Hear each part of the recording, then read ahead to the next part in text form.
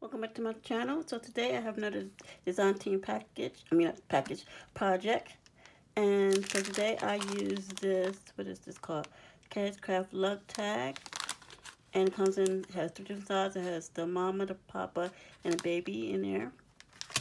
And I also use this Keep It Sweetheart paper by Photo Play. And I use some more of these three drops. I use the pink version. I use black and white that also has some clear inside here. And I use these red versions. And I'm going to show you the tags I came up with. So here's some here.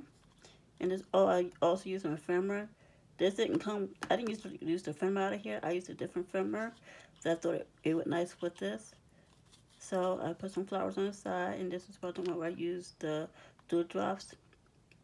And I used the clear, and I used the black here, and I used the red ones here. And the work pops out and says love here. And I made some also a pink version. It's, I was supposed to have acetate in the pink version. But what happened is when I went to do this one, I forgot to put the acetate in this one. And that's so this one won't have acetate. But the other two does have it. And so here you have the flowers. And you also have some of these jimmies here.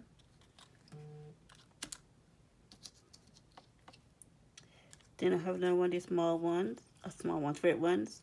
And this is where you have the little flower and you have, I use the red and clear and black jimmies on this one. This is what. I use acetate on the pink versions. And here you have some the pink jimmies on here.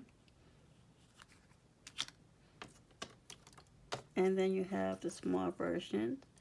And you have all these cute, some more pink jimmies on this one also had a diamond shape in it. Now you have a clear balls. And then you have a small red version of this. And that's where I cut the flower in half. And this is where I use clear and a black. And I think they turn out cute. So until next time, like and subscribe. See ya.